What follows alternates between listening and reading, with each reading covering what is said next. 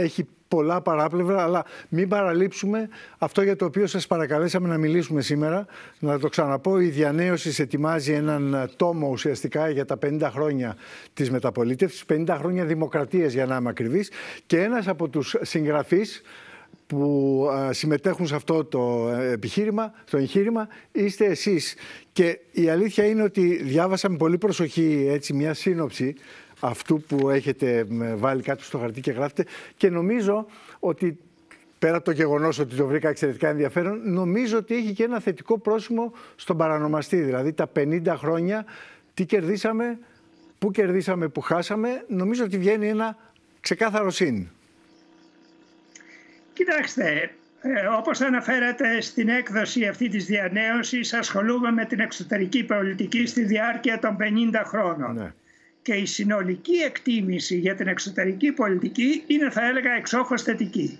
Με άλλα λόγια, η Ελλάδα στα 57 χρόνια έλυσε ορισμένα βασικά ζητήματα υπαρξιακού χαρακτήρα και κυρίως το πού ανήκει η χώρα. Διότι από καταβολής του ελληνικού κράτους υπήρχε ένα τέτοιο ερώτημα, η μεγάλη ιδέα μας οδηγούσε προς την Ανατολή κτλ. Με την μεταπολίτευση και μετά, από τη μεταπολίτευση και μετά και κυρίως με το μείζον επίτευγμα της μεταπολίτευσης που είναι η ένταξη της χώρας στην Ευρωπαϊκή Ένωση. Η Ελλάδα αγκυροβόλησε στέρεα στην Ευρώπη και κατά επέκταση στη Δύση. Mm-hmm. Επομένως απάντησε θεσμικά και οριστικά στο ερώτημα που ανήκει. Ανήκει στην Ευρώπη και ανήκει στη Δύση που σημαίνει ότι διαμοιράζεται τις αξίες και τις κατά κάποιο τρόπο ε, στοχεύσεις της δύσης και της Ευρώπης. Δεν έγινε ανέφερα και, και εύκολα όλο αυτό. Δηλαδή, Όχι θυμίζω ότι η δεκαετία του 80 ήταν κυρίαρχο ε, σύνθημα ΕΟΚ και ΝΑΤΟ το ίδιο συνδικάτο να φύγουμε από την Ευρωπαϊκή Ένωση. Ήταν η εποχή των αδέσμευτων. Που ήμασταν με τη Λιβύη, με την, ε, την Ινδία, δεν ξέρω ποια άλλη ήταν τότε η αδέσμευτη. Επίσης το 2015. Μια πολύ μεγάλη περιπέτεια που λίγο έλειψε να βγάλει τη χώρα από αυτό το πλαίσιο που με τόσο προσπάθεια έκτισε. Έχετε απόλυτο δίκιο. Με άλλα λόγια, όταν ξεκίνησε η διαδικασία για την ένταξη, ο στόχος αυτός δεν είχε ευρεία πολιτική συνένεση. Σημαντικές πολιτικές δυνάμεις, το τότε ανερχόμενο Πασόκ ήταν αντίθετο, αλλά, αλλά παρά τα αυτά, στην πορεία του χρόνου όμως, απέκτησε υψηλή συνένεση. Δηλαδή ουσιαστικά αυτή τη στιγμή με οριακές εξαιρέσεις όπως είναι το Κομμουνιστικό Κόμμα και κάποια ακροδεξιά μορφώματα η συμμετοχή της Ελλάδας στην Ευρωπαϊκή Ένωση θεωρείται ως προϋπόθεση για την επιβίωση του ελληνικού έθνους και αυτό νομίζω ότι είναι πάρα πολύ σημαντικό. Στα ελληνοτουρκικά κύριε καθηγητά τώρα που είναι ένα αγκάθι που όσα χρόνια θυμάμαι και κάνω αυτή τη δουλειά ε, είναι ένας κύκλος που επαναλαμβάνεται. Πού, πού κάναμε ε, επιτυχίες και πού κάναμε λάθη, χάσαμε δηλαδή το momentum. Κοιτάξτε, στα ελληνοτουρκικά ε, θα έλεγα το εξής ότι κατά κάποιο τρόπο δεν μπόρεσε η ελληνική εξωτερική πολιτική να επιλύσει το βασικά προβλήματα διότι η σύγχρονη ιστορία των ελληνοτουρκικών ξεκίνησε περίπου με τη μεταπολίτευση ένα χρόνο νωρίτερα το 1973. Στην πεντηκονταετία αυτή περίοδο δεν επιλύσαμε τα ελληνοτουρκικά, αντιθέτως οι αντιπαραθέσεις, τα ζητήματα, οι διαφορές διευρύνθηκαν με ευθύνη της Τουρκίας βεβαίως. Υπήρξε η Τουρκία η οποία έθεσε νέα ζητήματα στην ατζέντα. Αλλά όταν υπήρξαν ορισμένες ευκαιρίες για την επίλυση τότε η Αθήνα ήταν αυτή η οποία δεν προχώρησε με θαραλέο τρόπο και αγνοώντας το πολιτικό κόστος Κύριο προκειμένου... δεν φανήκαμε αρκετά θαραλέοι; Κοιτάξτε, η πιο συγκεκριμένη και πιο κατά κάποιο τρόπο εύγλωτη περίπτωση είναι το 2004 όταν τότε μετά τις διερευνητικές συνομιλίες που άρχισαν το 2002 ως συνέχεια του Ευρωπαϊκού Συμβουλίου του Ελσίνκη του 1999 είχαμε ουσιαστικά φτάσει σε ένα πακέτο διευθετήσεων με την Τουρκία όπου ορισμένα θέματα είχαν συμφωνηθεί προκαταρκτικώς και κάποια άλλα όπως προέβλεπε το Ευρωπαϊκό Συμβούλιο του Ελσίνκη τα συμπεράσματα θα έπρεπε μέχρι το τέλος του 2004 να παραπεμφθούν στο Ευρωπαϊκό, στο Διεθνές Δικαστήριο. Κύριε Στον Παρόδο, ήσασταν από τους αρχιτέκτονες της Συμφωνίας του Ελσίνκη. Συμμετείχατε. Συμμετείχα και στο Ελσίνκη και στην προετοιμασία του. Και η Τουρκία είχε αποδεχθεί αυτό το πακέτο. Διαφοροποιημένη επέκταση χωρικών εντάτων, παραπομπή στο Διεθνές Δικαστήριο για την οριοθέτηση θαλασσίων ζωνών υφαλοκρηπίδα ΣΑΟΣ. Αλλά όταν το 2004 έγινε η κυβερνητική μεταβολή, η νέα κυβέρνηση δυστυχώς εγκατέλειψε τις ε, πρόνοιες του Ελσίνκη. Ναι.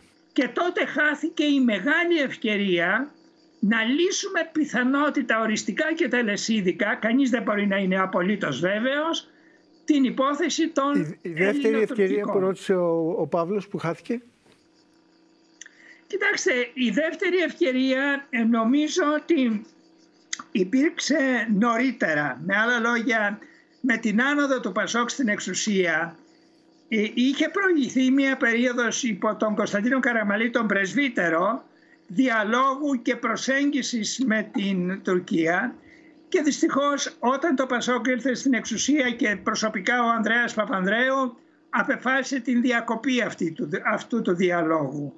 Και δεν ήθελε παρά μόνο να συζητήσει αν θέλετε το ζήτημα της υφαλοκρηπίδας και αυτό χωρίς να μπει σε διάλογο κτλ με αποτέλεσμα να φτάσουμε το 87 και στην, στο, θερμό, στο παρολίγο θερμό ναι, ναι, ναι. επεισόδιο. Ναι, Βιάζομαι να ρωτήσω το Κυπριακό που επίσης ε, έχει τις καλές και τις κακές στιγμές. Ξεχωρίζουμε το γεγονός ότι η Κύπρος μπήκε στην Ευρωπαϊκή Ένωση.